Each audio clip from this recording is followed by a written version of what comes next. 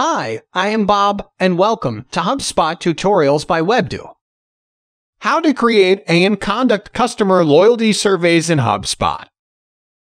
Customer loyalty surveys track how likely your customers are to recommend your company to other people.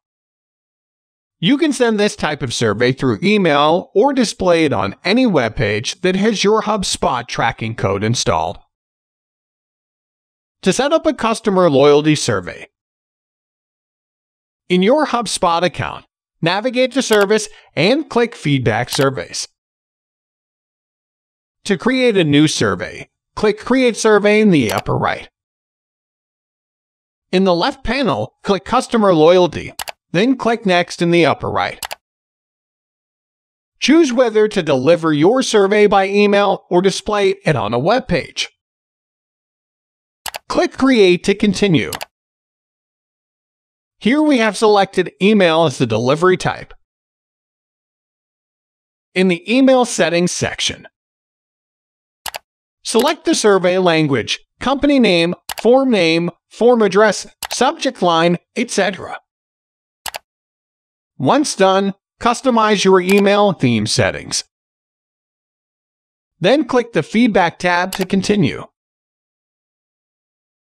Customize your follow-up questions. On the basics of detractors, passive or promoters, in the right panel, preview the follow-up question, then click the Thank You tab to continue. Customize the thank you message a customer will see after submitting the survey. Choose the recipients of the survey.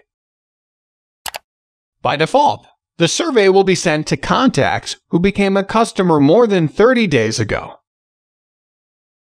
You can also select from scratch or select from static list and edit the criteria.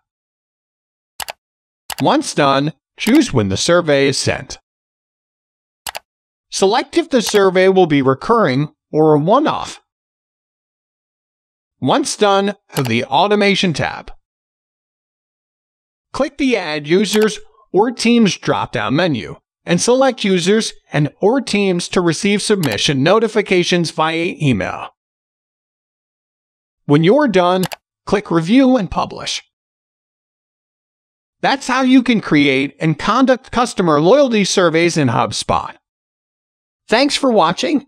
Feel free to ask any questions in the comment section, and we will be happy to answer. If you like the video, give us a thumbs up and press the bell icon to subscribe to our channel.